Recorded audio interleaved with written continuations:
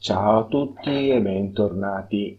So che avrei detto che per un po' avrei abbandonato la PlayStation, ma siccome nel, in questo periodo ho anche finito, nel frattempo ho anche finito questo gioco, Night, Nights of Azure, che è uscito per tutte le piattaforme PlayStation, almeno in Giappone, in Occidente l'ho solo visto per PlayStation 4, volevo parlarvi di questo gioco. Si tratta di un JRPG. Eh, non saprei, non sono un grandissimo esperto di JRPG, quindi non saprei dirvi quanto classico sia o meno. Io l'ho trovato un po' diverso rispetto a quelli che ho giocato, di, il, che ho giocato in passato. Innanzitutto perché comunque non ha combattimenti a turni. Ah, piccola premessa, il gioco in inglese e siccome il punto forte è la storia, è meglio conoscerlo un po' eh, parlato in giapponese, quindi non si, non si scappa dalla, dalla, conoscenza dell'inglese. Dicevo, eh, il gioco è in tempo reale, i combattimenti in tempo reale non sono a turni, eh, c'è un solo personaggio controllabile per tutto il gioco, ci sono invece che avere gruppi di, di parti, sia un personaggio circondato da quattro alleati evocabili, e questo secondo è, non è una. È, il gioco si svolge tra, da un hub centrale in zone, eh, esplorando man mano le zone che si aprono dalla mappa. Quindi non è una grandissima mappa. Mm, questo secondo è un po' diverso rispetto a quello che ho visto fino adesso, ma ripeto, non sono un grandissimo esperto. Parlando invece della storia, mm, c'è da dire che eh, la protagonista è uh, una ragazza si chiama Arnice, ma prima di introdurre uh, il personaggio ci va un attimo di loro. Il gioco è ambientato in un mille, fine 1800 alternativo dell'Europa, in un'isola situata tra la Gran Bretagna e la Germania più o meno. Mille anni prima un Night Lord eh, stava per conquistare il mondo, è stato sconfitto tramite il sacrificio del primo santo però la sua sconfitta ha portato a una maledizione, il sangue blu, il blue blood, che se tocca persone, oggetti, animali, li trasforma in demoni. Di notte, infatti, il problema è che questi demoni girano solo di notte, c'è problema. Questi demoni girano solo di notte, per fortuna almeno di giorno la cosa non si non, non avviene. Per sconfiggere questi demoni è stata creata una chiesa, chiamata la, una curia, comandata da un papa, eh, che ha organizzato, uh, organizzata in due fazioni, fazioni, no, fazioni no, due gruppi, i sacerdoti e i cavalieri. Arnice è uno di questi cavalieri. Eh, c'è anche da dire che l'altro compito, forse più importante della curia, è che ogni dieci anni deve essere ripetuto il sacrificio del santo per evitare che il Night Lord eh, ritorni. Guarda caso, siamo al decimo anno. L'ultimo Arnice, abbiamo detto un cavaliere della curia, ed è un cavaliere molto particolare, in quanto è stata toccata dal sangue blu, ma non si è trasformata completamente in demone, non ha perso la sua umanità. E questo è un cavaliere particolarmente efficiente suo, la sua ultima missione è proteggere una sacerdotessa di nome Lisette, che eh, è una sua amica d'infanzia. Anzi, no, no, scusate, non una sua amica d'infanzia, è stata la sua compagna eh, quando hanno studiato per diventare rispettivamente cavaliere e sacerdotesse. Il gioco le presenta come le due migliori amiche, e in realtà tra le due c'è qualcos'altro, neanche troppo sottinteso. Ehm, e non è una cosa che è equivocabile, ma sì, non è, quello è.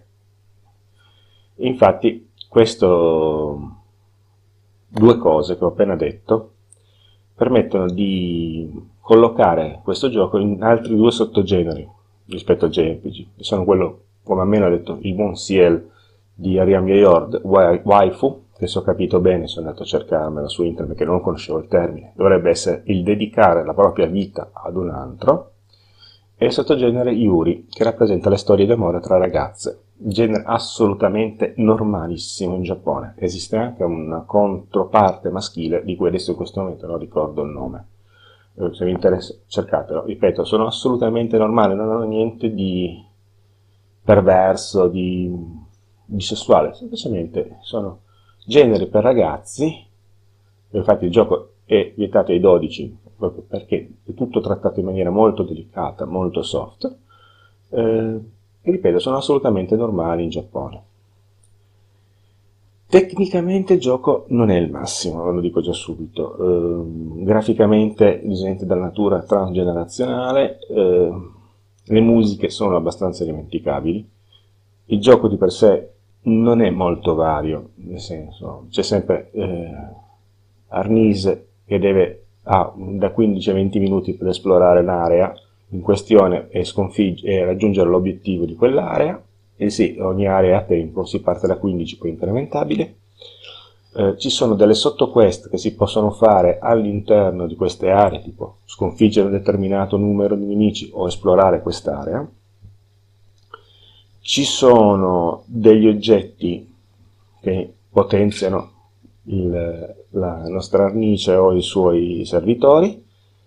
Ci sono quelle che vengono chiamate le daytime activities, che però sono una cosa passiva, che si guadagna al termine della missione per aumentare le skill. E poi diciamo che questo è l'essenza del gioco, che è diviso, ancora un attimo, in sette capitoli principali, ognuno dei quali è sottodiviso in quattro sottosezioni, almeno, eh, e si, il personaggio può livellare fino al decimo livello. Eh, ci sono anche altre cosine da fare, ma sono minori, tipo c'è un'arena in cui è possibile allenarsi. Io sinceramente l'ho usata molto poco.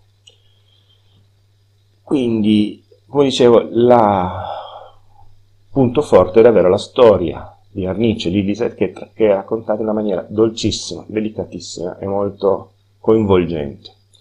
Ed è secondo me questo il motivo per dare a questo gioco una possibilità Mm, mi rendo conto che questo è un periodo un po' particolare per i JRPG, in quanto è uscito adesso il nuovo capitolo di Sword Art, a fine novembre uscirà Final Fantasy XV, in fine gennaio Tales of Berseria, a febbraio Persona 5, quindi grossissimi calibri nel, nel campo dei JRPG. Però, ripeto, se avete un po' di tempo io una, una possibilità alla storia di Arnice la darei, soprattutto anche perché l'ho trovata adesso facilmente sotto i 30 euro, quindi decisamente meno di quanto andare a comprare un titolo nuovo.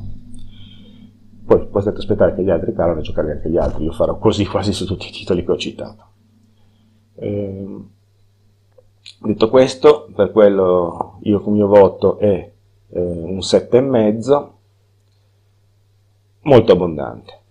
Ora, già mi sono dilungato molto, però se volete potete chiudere qua ma ancora, mi prenderò ancora due minuti per spiegarvi i finali. Non spoilerò niente, non dico tattiche contro tattiche, parlo un attimo come dei finali. Se non vi interessa potete chiudere qua, io più o meno la recensione è finita. Altrimenti, visto che non sono proprio chiarissimi, vi consiglio di ascoltarli. Come dicevo, eh, ci sono sette capitoli e dieci livelli del personaggio. Al termine del gioco si ottengono, posso ottenere fino a 5 finali chiamati normali. Questi finali dipendono dal livello di affezione di Lisette e Arnice. Questo si ottiene, si aumenta tramite dei dialoghi che si effettuano quando si livella. Compare una scritta con scritto il livello di affezione di Arnice e Lisette è aumentato.